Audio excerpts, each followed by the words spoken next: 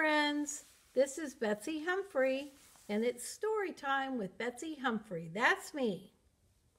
Today we're going to be reading The Early Bird by Richard Scarry. This is another old book of mine. I hope you'll like it.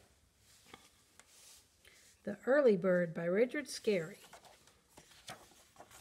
Here's a picture of him. Here it is again, The Early Bird by Richard Scarry.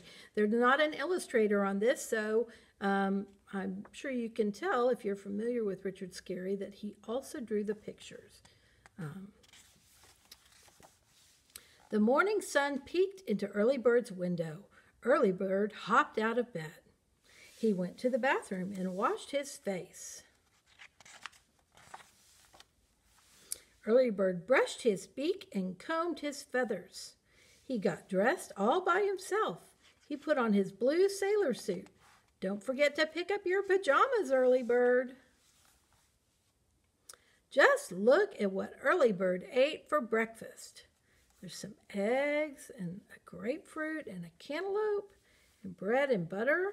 And Mom's making some sausage. She's cooking fruit. I don't know why. Dad's having a hard boiled egg. It looks like they've got something on the stove for lunch as well. Looks like a soup. After breakfast, Early Bird's mommy said, Why don't you go out and find a worm to play with? What is a worm? asked Early Bird.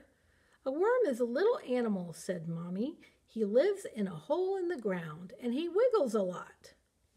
Early Bird put on his hat and went out to find a worm. Early Bird saw a bug on a flower. Are you a worm? he said. No, said the bug. I'm a ladybug. I can fly and I can crawl, but I can't wiggle like a worm.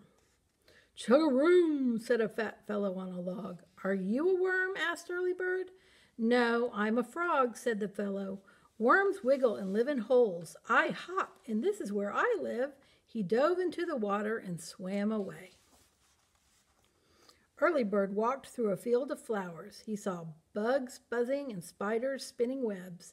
He saw crickets chirping and grasshoppers hopping, but he didn't see anything that wiggled. And then he did see something wiggling. It was in a hole in the ground. He ran to the wiggling thing and pecked at it. Ouch, said the wiggly thing. I've found you, worm, said the early bird. I am not a worm, said Bunny Rabbit as he climbed out of his hole. See, there's Bunny Rabbit. See, his nose is poking out of the hole. Worms are small and wiggle all over. I am bigger and only my nose wiggles. You go over to Farmer Cat's farm. Farmer Cat was plowing the field with his red tractor. Do you have a worm for me to play with? asked Early Bird. Look in my vegetable garden, said Farmer Cat. Sure enough, right on the edge of the garden was a hole, and sticking out of it was a wiggly thing, wiggling all over. Early Bird pecked at it with his beak. Hello, worm, he said. You mean hello, mouse tail, said Freddie Field Mouse. You should find out what a worm looks like before you go around pecking at things. Freddie scampered back down into his hole. Early Bird sat down and began to cry. What's the matter? said a funny fellow with a hat on. I need a worm to play with, and I can't find one anywhere, said Early Bird. Well, don't cry, said the fellow. There's a worm sticking out of a hole. You just hop over there and pull him out. Early Bird took the worm in his beak and pulled, but the worm wouldn't come out. You have to pull harder, said the funny fellow. Yes, but still the worm stayed stuck in his hole. Give a big pull, Early Bird. Out popped the worm. Why, it's you, said Early Bird. That's right, said the worm. My name is Wiggly Worm, and you have found me. Wiggly Worm wanted to play, but it was getting late. The sun was going down, and Early Bird had to hurry home for supper. But you can come with me, said Early Bird.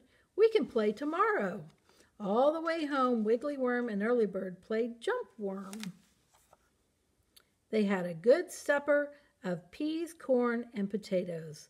Wiggly Worm ate a lot of peas. Daddy gave Early Bird and Wiggly Worm a piggyback ride to the bathroom. Early Bird took his bath with a sailboat. Wiggly Worm took his bath with his hat on. Daddy read a bedtime story.